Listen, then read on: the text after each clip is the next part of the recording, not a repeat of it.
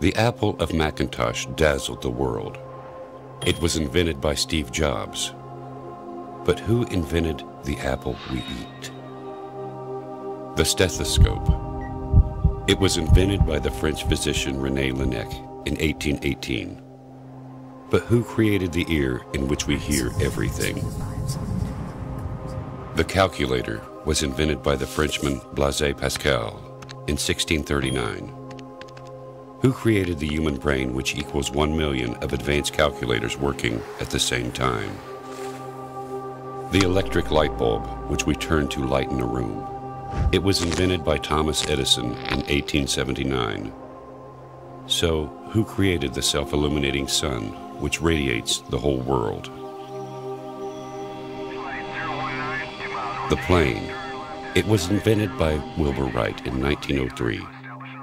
But who invented the systems in birds that enable them to fly long distances?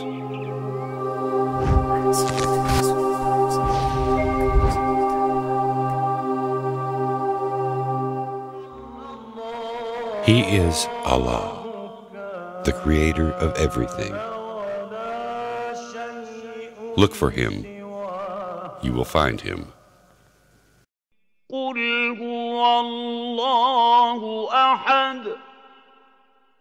الله الصمد لم يلد ولم يولد ولم يكن له كفوا أحد.